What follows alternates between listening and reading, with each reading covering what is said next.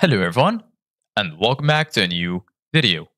In this video, I'm going to show you guys how you can attend an interview in Microsoft Teams.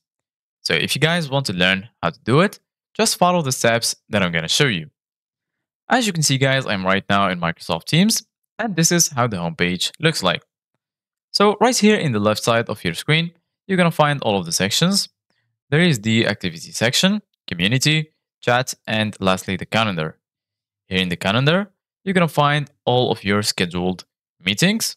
And if you have your interview scheduled, you're going to find this right here. Here in the top, you're going to find three options. You're going to find the option to join with an ID.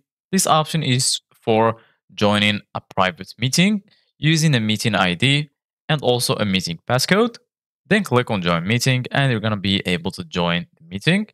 Here you're going to find the option to meet now if you want to start a meeting immediately.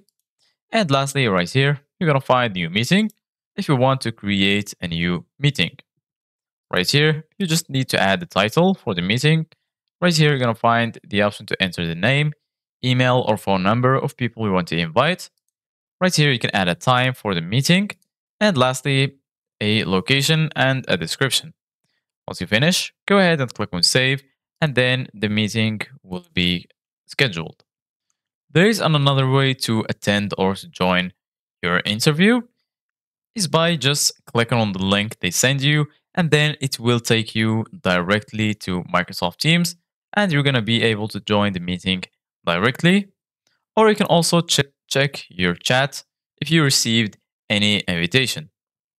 You're going to also find you might find the invitation here in community.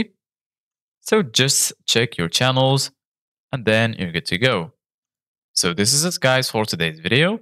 Thank you guys for watching. See you guys in the next video.